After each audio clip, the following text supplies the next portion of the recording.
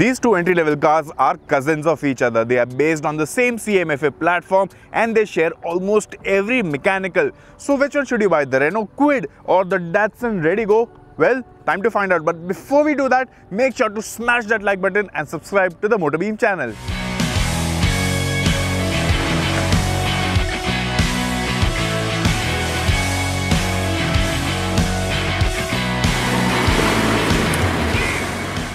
Now as I mentioned before, both these cars are based on the same CMF-A platform and in terms of size, there is not a lot of difference but the Renault Kwid is 296mm longer and 5mm wider than the Redigo. Meanwhile, the Redigo is approximately 56mm taller than the Kwid. Both the cars have decent ground clearance and both have the exact same tire size as well which is 165 70 14. None of these cars come with alloy wheels, both of them have steel rims, but the Redigo comes with regular wheel caps. Meanwhile, the Renault Kwid gets stylized wheels which basically look like alloy wheels. Now talking about the boot size, on the Datsun Redigo, you get a cargo capacity of 222 litres. Meanwhile, on the Renault Kwid, you get a capacity of 279 litres, which is significantly more than the Datsun Redigo. Now the thing over here is that on the Renault Kwid, there is a lot of exposed metal on the sides of the boot. So if you keep your bags or your belongings, the the metal is prone to a lot of scratches. Meanwhile, on the Datsun Redigo, you get this nice covering on the sides.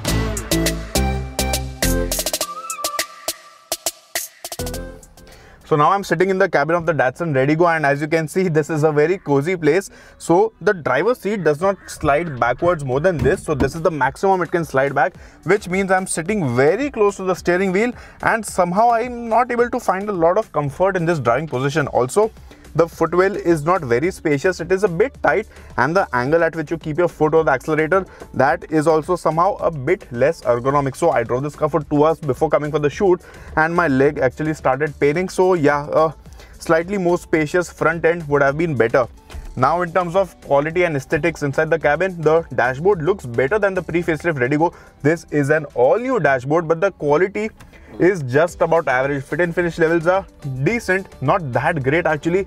There are a lot of rough edges, a lot of inconsistencies throughout the cabin and some plastic parts feel very flimsy as well. Now the Redigo doesn't have a lot of features. You get an 8-inch touchscreen infotainment system with Apple CarPlay, Android Auto. You get a similar touchscreen on the Kwid but with a different software. And apart from that, you get a basic instrument cluster with a small digital MID and a manual AC only. At the front, you get a single USB port, an aux port and a 12 volt charging socket and the lock unlock button is placed over here on the center console. Apart from this, the mirrors cannot be electrically adjusted. You have this stock over here to adjust the mirrors and again the quality of this could have been better. Overall, as a budget car, the interior of the Redigo is decent. It is better than the pre-facelift, definitely, but still somehow it leaves a, something to be desired. Sitting in the rear seat of the Datsun Redigo and as you can see, knee is decent for a car this small and the driver's seat has been set to my driving position. I'm 6 feet tall but as I mentioned before, the seat cannot be slid backwards more than this. So again, that is a constraint over here. And the rear seat, the squab of the rear seat is quite long but it is also extremely flat. So there's no there's no you don't get this comfort or you know bolstering over here. It is extremely flat. Even the front seats are quite flat on the Redigo. But again the seats are big in size. At least the squab is big in size. And you get two fixed headrests at the rear. Even the front headrests are fixed. So no adjustable headrest in this car. No center armrest as well. And no center headrest as well. So the rear seat experience is average on the Datsun Redigo decent space. The seat comfort is not all that great the seat even though it is big. And the thing over here is that even the on the top end variant you do not get rear power windows. You get this manually adjusting thing something which i've seen after a really long time on any car. So yes that's about it on the datsun redigo i guess. No rear AC vents no charging ports at the rear. Well that is expected in an entry level car. And now it's time to move to the Kwid Sitting in the Renault Kwid now and the experience does seem slightly better. Now in terms of space, well the footwell has more space than the one on the Redigo. My foot can easily move around over here and even the driving position is better than that on the Redigo because the seat can be slid back and forth a lot more than the Redigo. The range is longer on this and you get a better driving position.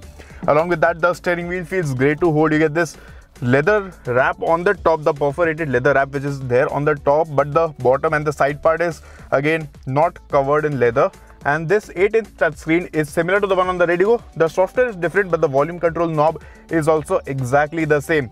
Now both the cars get power window switches on the center console. On the Kwid you get these switches over here just below the touchscreen whereas on the Redigo you get these switches a bit lower down on the center console. Just like the Redigo, even the Kwid gets a single USB port, an aux input and a 12 volt charging socket at the front and you also get these bottle holders, a large bottle holder and two small storage spaces in the center console.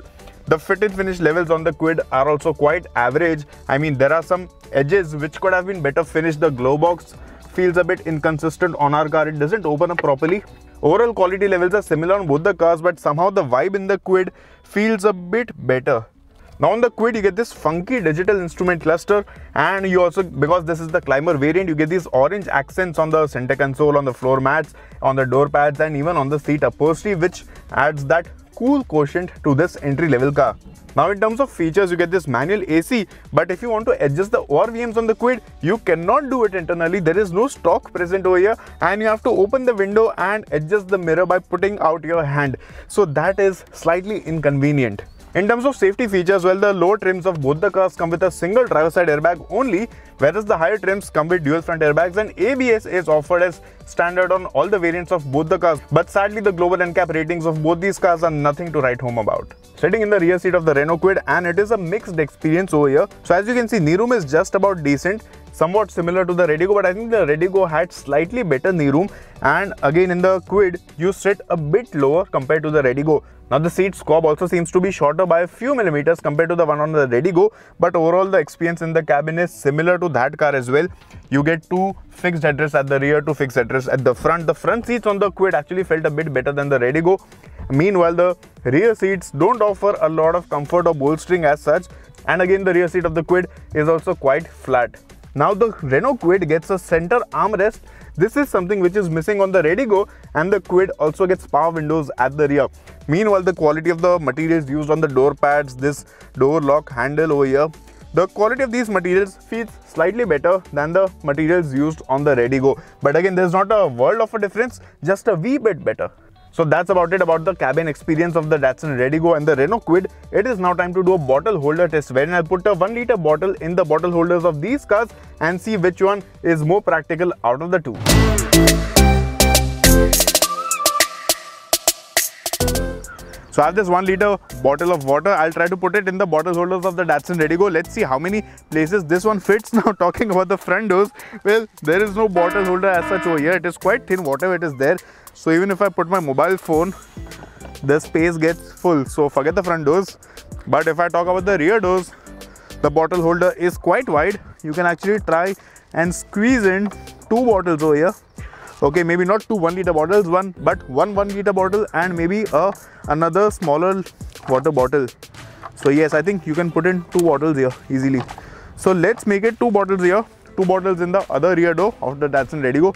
That makes it four bottles and uh, if I talk about the center console there is space enough for two large bottles so that makes it a total of six 1 litre bottles in the Datsun Redigo. It is now time to check out the bottle holders on the Renault Kwid. Now as you can see there's a 1 litre bottle already placed here. I can place another one easily and there's actually space for one more and another small bottle. So let's make it three 1 litre bottles in each of the front doors. That makes it six bottles. And if I talk about the rear door, well, there's no bottle holder in the rear door of the Renault Kwid, so that is zero. And one bottle can be put in the center console. So that makes it a total of seven 1 litre bottles in the Renault Kwid. So I'm driving the Renault Kwid first and both these cars actually come with the same engine options. So the smaller engine is an 800cc 3-cylinder unit that makes around 54 horses and 72 newton meters of torque. Meanwhile, I'm driving the 1 liter Kwid and I also have the 1 liter Redigo with me. The Kwid is an AMT, the Redigo is a manual. The Kwid is available with a manual also. Redigo is also available with an AMT. Now this 1 liter engine makes around 68 horses and 91 newton meters and in terms of drivability it is just about decent. I mean it is not all that punchy or all that powerful responsive but it does its job decently well if you're driving in the city and maybe occasionally out on the highways. Low end response is just about fine. The engine takes its own time to pick up pace. So if you're looking to drive fast aggressively or make some fast overtaking maneuvers then the engine might leave you wanting for more. But apart from that for day-to-day driving it is just about fine. Now talking about the 5-speed AMT on the Kwid, well, the AMT is good for convenience, but it is not as butter smooth as a proper automatic. But of course, no car in this segment comes with a proper automatic. That is also there. This AMT on the Kwid gets a creep mode, but you do not get a manual mode and there's no uh, regular conventional gear knob over here. So you get this rotary gear selector with the usual neutral, reverse and drive modes. In terms of refinement also, this 1 litre engine is just about okay-ish the engine is audible inside the car. Overall, the NVH levels of both the cars, the Redigo and the Kwid, aren't all that great. So a lot of outside noise filters inside both the cars. Now I drove the Redigo as well and the engine response is quite similar on both the cars. The Kwid makes its peak power at 5500 rpm. Meanwhile, the Redigo makes its peak power at 5550 rpm, just a small difference. The Redigo which I have is the manual and the clutch is extremely light on that car. So that makes it quite easy to drive but the gear shifts are extremely notchy on the Redigo and I think the same is the case with the Kwid manual as well. Overall both the cars are very easy to drive, both have decent outdoor visibility in terms of fuel efficiency, well, this 1 litre engine is quite decent. I mean, in the city, you'll get 14 to 15 easily, and out on the highways, you can get as much as 18 to 19 as well. So, that is not much of a concern over here. Both the cars are economical to drive, they have decent drivability, not too explosive, not too punchy. Now, if I talk about the 1 litre K series engine that comes on the Maruti S-Presso, well, that engine, even though it is similar in terms of power and torque on paper, it is quite, it is slightly better than the Redigo in the Kwid because that engine feels a bit more punchier as well and refinement levels are also slightly better on that engine. Overall, that engine feels a bit better to drive. Driving the Datsun Redigo facelift now, this gets the same 1 litre engine as the Renault Kwid 3 cylinder unit and this one, the car which I'm driving right now has a 5 speed manual. You also get an AMT just like the Kwid but on this manual, this engine does feel a lot responsive and punchier because on the AMT, some amount of lag can be felt. Now, just like the Renault Kwid, the Datsun Redigo is also quite an easy to drive car. The Kwid is small. This one feels even smaller because of the cramped footwall, the compact dimensions of the car and the fact that I'm sitting so close to the steering wheel. But driving such a small car in the city has its own set of benefits like you can park the car anywhere, you can maneuver through tight lanes, all that can be done very easily. Both the cars have very light controls. The steering wheels on both the cars are light, but somehow the steering on the Redigo feels lighter than the one on the Kwid. Sadly, none of the steerings offer that great of feedback. Neither are the steerings very communicative and they feel quite lifeless. Both the cars come with a pliant suspension setup and the ride quality is decent on both the cars. At bad roads, yes, some of the sharper potholes, and undulations are filtered inside the cabin. They can be filled because the tires are quite skinny on both the cars at 165, 70, 14. And if we talk about the stability and the composure at high speeds, well, these cars feel stable up to maybe 100 kilometers per hour.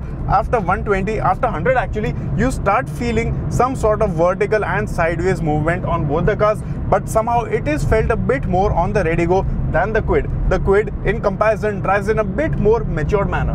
Now see, honestly, these cars aren't meant for being pushed around hard on the corners. So if you go aggressive on the corners, if you try to take some fast turns with these cars, you will be disappointed because these cars are not meant to do all that. The grip offered from the tires is just about adequate for normal driving and if you do push the car hard you will notice some amount of skidding or you know sliding on both the cars. Overall i'd say this 1 litre engine offers decent drivability. The manual is more fun the amt is more convenient. Both the cars are easy to drive. They are good enough for city driving and maybe occasional driving.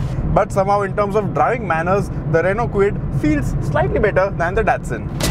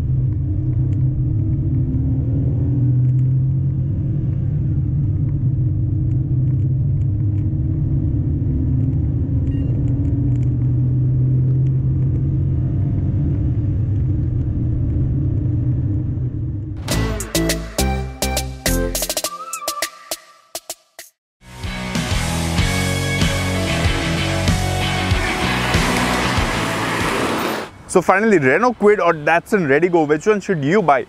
Well, compared to the pre-facelift Redigo, this one looks better, has some more features and it makes for a decent first time purchase. But if you see the overall package, the Renault Kwid feels a bit more accomplished and it also offers a bit more space and better, slightly better driving manners compared to the Datsun Redigo, which is why my pick out of these two would be the Renault Kwid. Meanwhile, if you don't like any of these cars, then your only option as a competitor in this very same segment is this orange colored super SUV. But if you can increase your budget slightly, it might make a lot of sense to go for the Lord Tiago, which is not only bigger and more spacious, but it also offers a 4-star safety rating. Thank you guys for watching this video. I hope you liked it.